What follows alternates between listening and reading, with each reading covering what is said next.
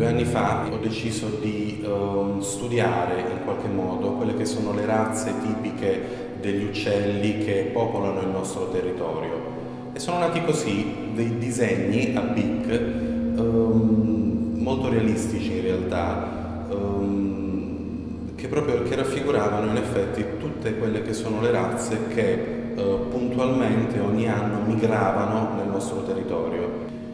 L'uccello non viene più disegnato in maniera reale, non viene più ritratto. Il lavoro di ritrarre un animale, alla fine mi sono reso conto che non mi si addiceva più di tanto. Manipolare l'animale invece sì. Allora ho incominciato a pensare che un uccellino di una specie fosse cromosomicamente fuso ad un altro uccello, magari uno più grande, una cosa che in natura non può esistere, no? ma che io reputo divertente e che in realtà è una cosa che facevo da piccolino, quando immaginavo delle fusioni esistenti, la sirena per esempio, no? Allora ho immaginato di far accoppiare, di far crescere una creatura che veniva fuori da un uovo, un uovo che era stato covato da un uccello, ma che in realtà poi ne usciva, ne usciva completamente un altro. Da Cantico, che sono questi uccellini fatti a penna, sono nate due serie nel 2012, nell'anno scorso. Famedaria e Flight Sick. La serie, la, la serie Famedaria è um, questo lavoro ad acquerello di piccolissimo formato, mi pare un 14 cm, rappresenta um, questi uccellini completamente evanescenti, no? perché questa è una delle cose belle dell'acquarello, che in realtà non appartengono a nessuna specie conosciuta, a nessuna razza. Allora sono dei gufetti, sono delle civette o forse sono dei tucani perché questi becchi sono troppo grandi. Famedare è un lavoro fantasioso e insieme, contemporaneamente a Famedaria, è nato Flysick.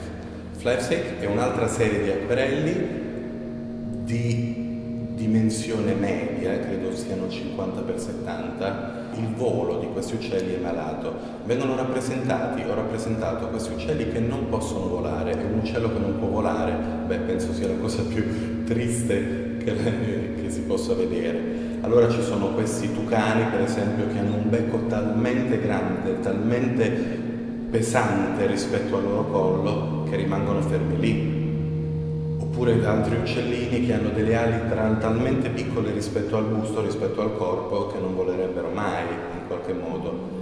E per me è importante mettere più animali possibili perché io stesso non so, fino a che il lavoro non è finito, che creatura esce alla fine. Questo è anche il bello dell'acquarello perché alla fine non sai mai il lavoro come esce, se esce bene o esce male, devi aspettare che si asciuga no? quindi tu lasci la sera lo studio, il lavoro bagnato, arrivi il giorno dopo, ti trovi l'acquarello che è ben fatto o non è ben fatto, allora prendi e lo butti.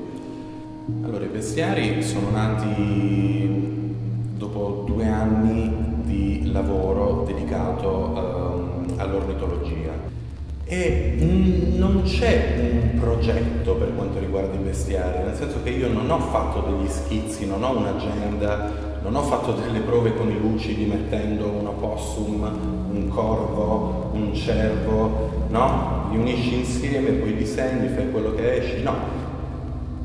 Sono usciti per caso, allora incominci dalla testa, la colori e lasci, aspetti che, no? che si asciuga, eccetera poi dalla testa partono de delle pinne, dalle pinne parte la coda e le zampe sono quelle di un cane oppure quelle di un cervo, alcuni hanno gli zoccoli, alcuni non li hanno, alcuni hanno dei genitali enormi.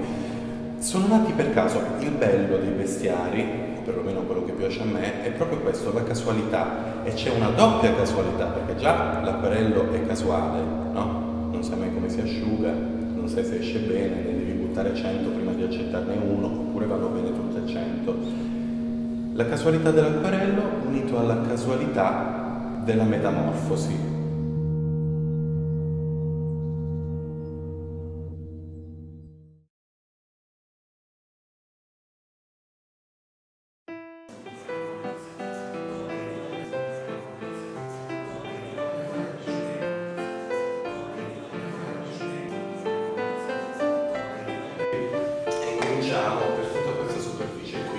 Grazie.